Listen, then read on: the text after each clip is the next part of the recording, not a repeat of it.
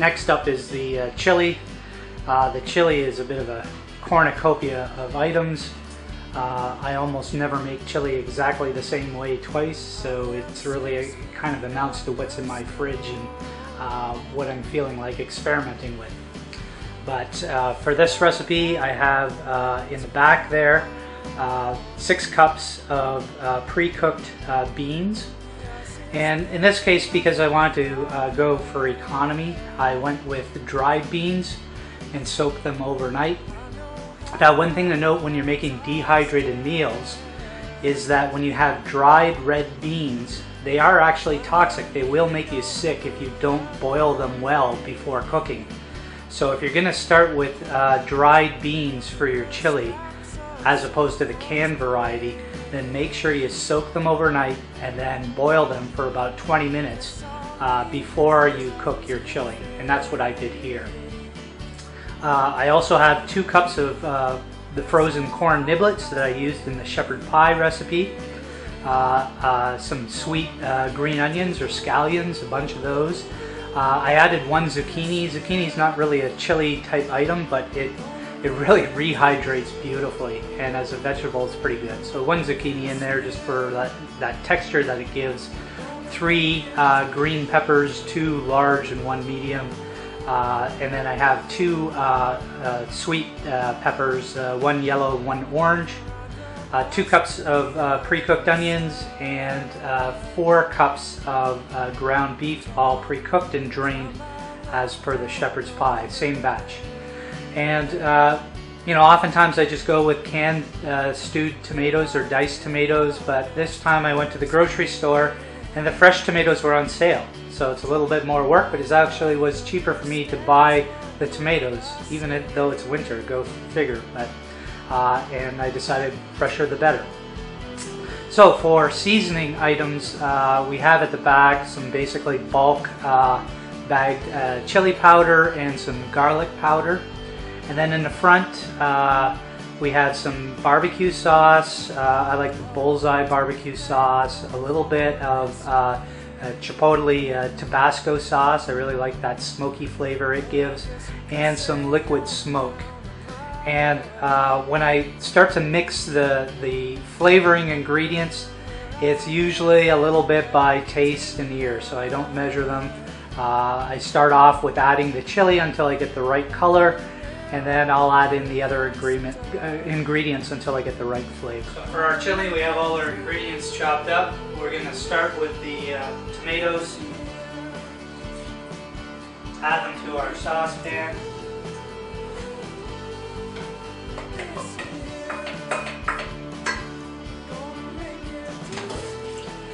Following with the onions.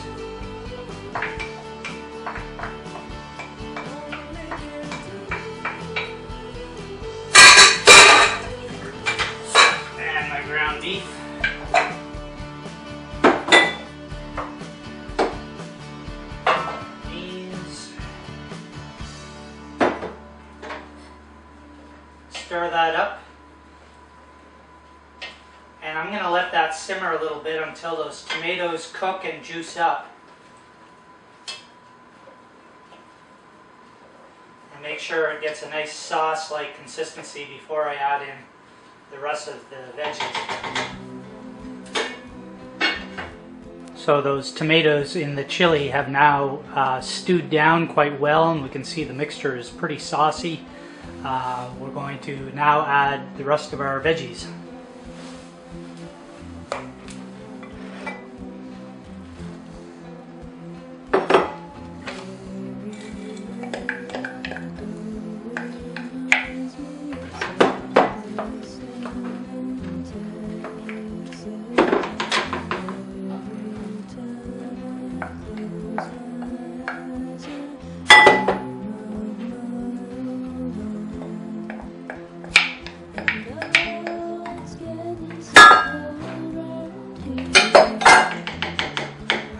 That stew down again and in about an hour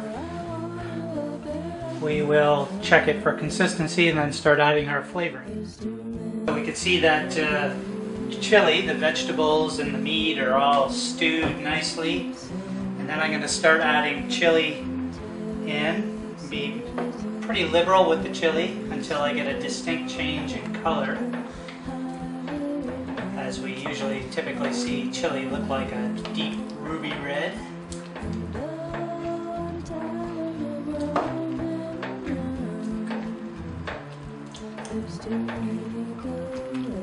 And add a little bit of garlic powder in here too. Not as much garlic powder. Tiny bit more. Just add it in steps and stir it through until you get the color that you like. This is a lot of chili.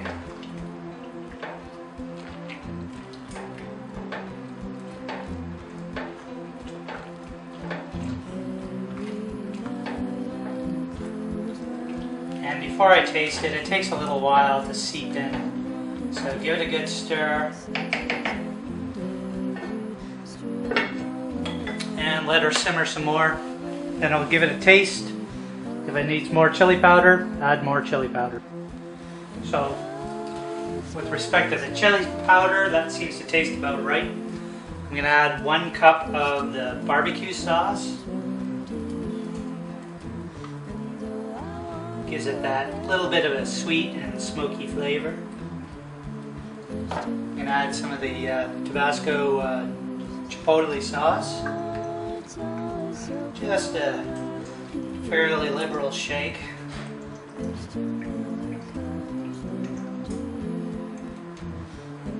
And a little bit of uh, liquid smoke. Just a few shakes is good. Don't overdo it on liquid, liquid smoke. stir that in. Let that stew and come back.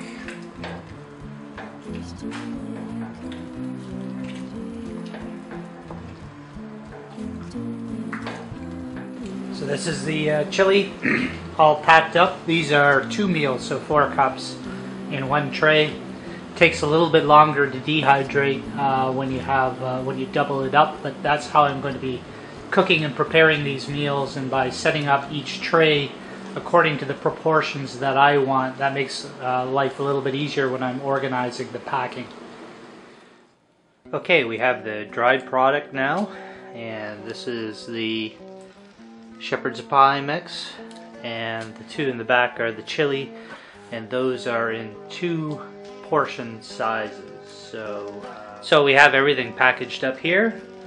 Uh, this is actually uh, 10 meals worth of uh, camping food uh, for two people. Well, five meals of two people worth.